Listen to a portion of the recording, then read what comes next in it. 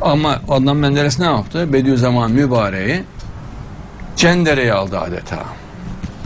Ankara'ya sokmadılar. Kendi memleketine sokmadılar.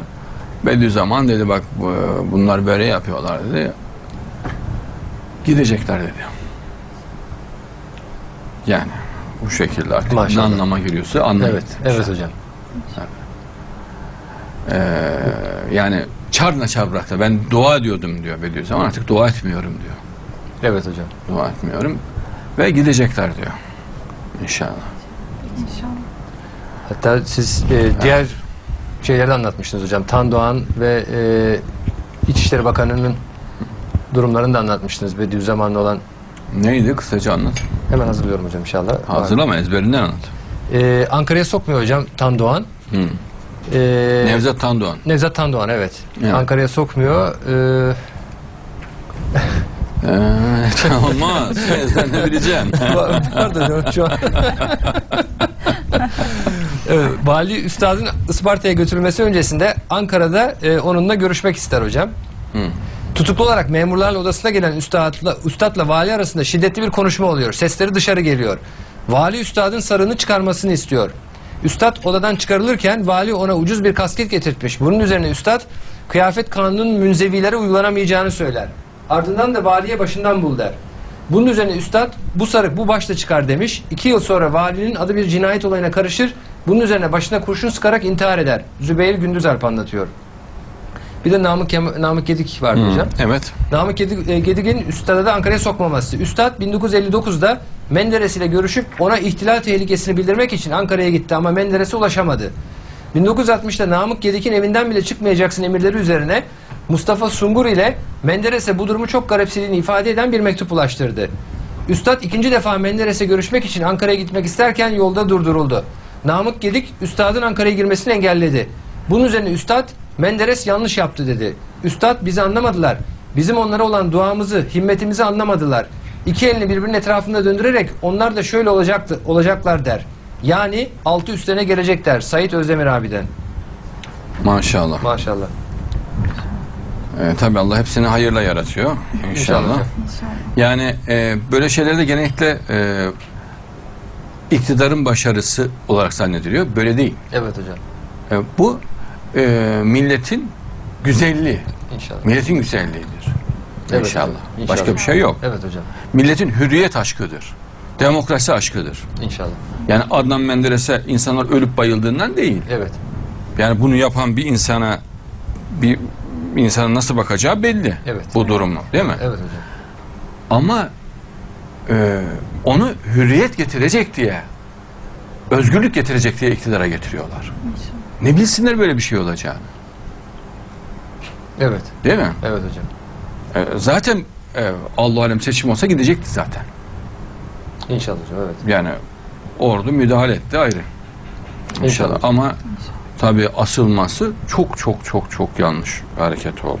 Evet hocam. Ama kaderi ilahi. İnşallah. Daha önce de uçak kazası geçti. Mesela Bediüzzaman'ın uğraşırlarken yani bu o hükümet döneminde bu eziyet ederlerken Bediüzzaman'a Allah Adnan Menderes'i uyardı. Uçak kazasını geçirdi. O sağ kaldı. Ayaklarından asıldı kaldı uçakta. Ayaklarından asıldı. Ters. Ters o baş aşağı. Evet. Bu bir uyarıydı. Onu anlamadı Adnan Menderes. Bu birinci uyarısıydı. İkinci kere uyarılınca yine dinlemedi. Evet. Yani Allah'ın velileriyle uğraşmak olabilecek en yanlış hareketlerden bir tanesidir. Evet hocam. En yanlış hareketlerden bir tanesidir. Yani bir kişi için Allah dünyayı yerinden oynatır. Maşallah. Elhamdülillah. Bir kişi için. Evet. Allah zulme razı olmaz. İnşallah. İnşallah. İnşallah. Siz açıklamıştınız hocam e, hadislerle inşallah e, Allah e, Hazreti Mehdi için kıyameti durdurduğunu söylemiştiniz hocam. Tabii ki. Bir Hadis kaldı. peygamberimiz söylüyor. Evet hocam. Sahih hadis kitaplarına geçiyor. İnşallah hocam. Furkan suresi dikkatli olun diyor Allah. Dikkatli olun pars. Keskin bir dikkat. Muhkem hüküm. Bak dikkatli olun diyor Allah. İnşallah. Müslüman dikkatli olacak. Kafa şeytanın büyüsüne dağılmayacak. Mehdi'ye de şey e, e, Deccal'in büyüsü vuracaktır. Bütün Müslümanlar vuracaktır. Mehdi ve veliler irade ve dikkatle o büyüden kurtulmuş oluyorlar. Yoksa etkisi altına girerler. İnşallah. Deccal'in etkisi altında ama etki etmiyor Allah'ın izniyle yani şeytanın etkisinden. İnşallah. Keskin bir dikkatle kurtuluyorlar inşallah. İnşallah. İnşallah. Dikkat Deccal'in o oyununu bozar işte. Çünkü dikkati dağıtmaya çalışıyor. Dikkati de keskin bir iradeyle Müslüman ayakta tutacak. İsa Mesih zamanında Deccal'in büyüsü tamamen bozulacak inşallah. Şeytandan Allah'a sığınırım. Dikkatli olun. Göklerde ve yerde olanların hepsi Allah'ındır. O üzerinde bulunduğu şeyi elbette bilir ve ona döndürülecekleri gün yaptıklarını kendilerine haber verecektir. Allah her şeyi bilendir. Göklerde ve yer- yerde olanların hepsi Allah'ındır. Göklerde olan İsa Mesih. İnşallah. Yerde olan Mehdi. Değil mi? Ve melekler. İnşallah hepsi Allah'ındır. O üzerinde bulunduğu şeyi elbette bilir. Ona döndürülecekleri gün yaptıklarını kendine haber verecektir. Allah her şeyi bilendir. Yani vefat ettiklerinde. Allah her şeyi bildireceğim diyor. Furkan suresi 2 şeytandan Allah'a sığınırım. Allah her şeyi yaratmış, ona bir düzen vermiş. Düzen. Geometri ilmine, geometrik düzen veriliyor. Simetri. Belli bir ölçüyle takdir etmiştir. Altın oranla da takdir ediyor Allah. İnşallah. Değil mi? Müthiş bir matematik düzgünlük vardır. Maşallah. Hem geometri hem matematik düzgünlük. Allah'ın sanatının özelliklerindendir. İnşallah. Muhterem hocam, velayetin Hazreti Mehdi ile son bulması ne demektir? Bütün veliler ondan önce vefat edecek midir? Hateme veli. Yok, veliler olacak Mehdi'nin. Zaten Mehdi'nin talebeleri veli zaten. İnşallah. E, veli ordusu oluşuyor. Hazreti İsa Aleyhisselam var, Nebi zaten. Onun vefatından sonra artık e, yani o güçte, o nezafette, o kalitede artık bir daha veli gelmiyor. Gittikçe bir düşüş ve gerileme. Geriliyor, geriliyor, geriliyor sonra kopuyor. Budur. Hatem velidir yani. İnşallah. Yoksa Mehdi'nin vefatından sonra yani vefat eder etmez dinsizlik dünyaya hakim olacak. Hiç veli kalmayacak anlamında değil. Gerileme başlayacak artık. Ve ama onun ayarında gücünde e, bir veli olmayacak artık. Budur. Kastedilen bu. Muhyiddin Arabi, İbnül Arabi e, Kudüs'e Suru Hazretleri Hakim Ettirmizi Kudüs'e Suru Hazretleri'nin e, Hatemül Evliya'dan e, sorduğu sorulara cevaplandırmak için yazdığı El Cevabül Müstakim isimli eserde şöyle buyuruyor. Buna hak kazanan ceddine yani Hz. Muhammed Aleyhisselam'a çok benzeyen bir kimsedir Mehdi için. İnşallah. Hz. Muhammed Aleyhisselam'a çok benzeyen kimsedir. O Arapçayı pek iyi konuşamaz diyor. Yani Arapça bilgisi yoktur diyor. Evet. İnşallah. Bakın Mehdi için. Evet. O Arapçayı pek iyi konuşamaz. Bu ne demektir? Arapça bilgisi yok gibi. Evet. Çok az. Fakat ahlakı hususunda ondan farkı da olmaz. Peygamberin ahlakı gibidir diyor ahlakı Maşallah. Mehdi için. İnşallah. Muhyiddin Arabi Hazretleri diyor. Bunu e, ne zaman söylüyor? E, Hakim et-Tirmizi e, Kudüs'e Sur Hazretleri'nin Hatemül Evliya'da sorduğu sorulara cevaplandırmak için yazdığı El Cevabül Müstakim isimli eserini yazıyor. İnşallah. O orta boylu erlerdendir. Orta boylu bir insandır. Mehdi. Mehdi. Mülkün dönemi onunla biter. Yani dünya onunla biter.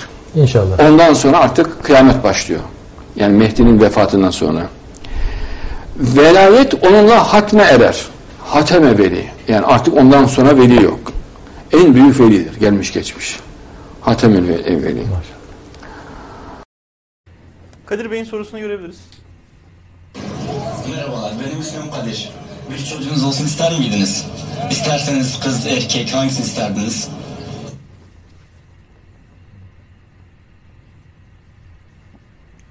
Kız erkek hangisini isterdik? Buradaki çocukların hepsi benim çocuğum zaten. Kız olan da var, erkek olanlar da var. Yani müminle birbirinin velisidir, kardeşidir zaten.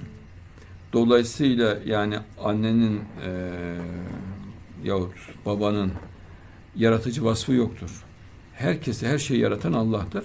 Buradaki insanları yaratan Allah, onları bize kardeş eden de Allah'tır. Dolayısıyla benim hepsi kardeşim, çocuğum mesabesindedir. Çünkü müminler birbirinin velisidir. Velisi ne demek? Koruyucusu, kollayıcısı. Sonsuza kadar arkadaşı. Cennette beraber olacağıma göre, dünyada beraber olacağıma göre, dünyada velileri olduğuma göre, onlar da benim velim olduğuna göre, e, her şeyi yaratan Allah olduğuna göre ne olmuş oluyor? Hepsi benim çocuğum, kardeşim, velim olmuş oluyor. Ben de onların velisi olmuş oluyorum. Ben de onların çocuğu olmuş olurum. Yani müminler birbirinin kardeşidir. Bu hüküm hepsini içine alan geniş bir anlatım.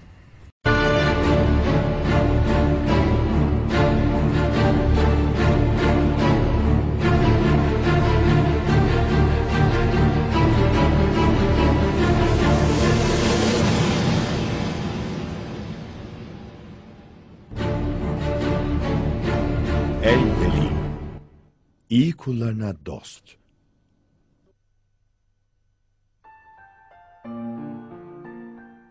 Allah iman edenlerin velisidir. Onları karanlıklardan nura çıkarır. İnkar edenlerin velileri ise tağuttur. Onları nurdan karanlıklara çıkarırlar. İşte onlar ateşin halkıdırlar. Onda süresiz kalacaklardır.''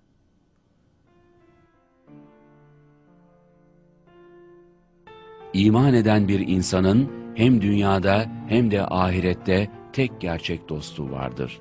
Bu dost onu asla terk etmez. Her zorlukta yanındadır ve ona yardımcıdır. Doğduğu günden öldüğü güne kadar daima onunla birliktedir. Onu düşmanlarına karşı korur. Onun için herkesten daha güvenilirdir, daima karşılıksız armağan edendir.'' Kuşkusuz bu benzersiz dost Allah'tır. Allah, müminlerin en çok güvendiği, en yakın dostudur. O, kendine inanan insanları her türlü eksiklikten ve hatadan arındırır, onlara çok seçkin bir yaşam ve ahirette de hiç tükenmeyecek bir mutluluk verir.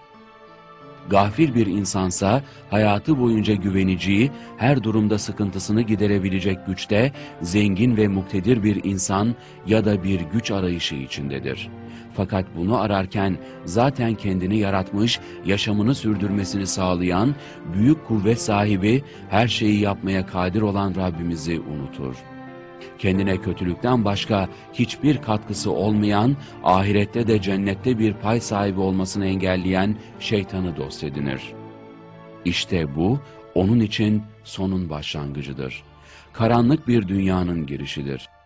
Allah'a iman eden, imanında da samimi olan insanlarsa hiç hüzün ve kayıp olmayan şerefli ve hayırlı bir hayatın içine girerler. Çünkü Allah inananlara dinine ve sözlerine sadık oldukları sürece kurtuluş nasip edecektir. Asıl büyük karşılığı ise ahirette onlara verecektir. Allah, inananların dünyada ve ahiretteki tek gerçek dostudur.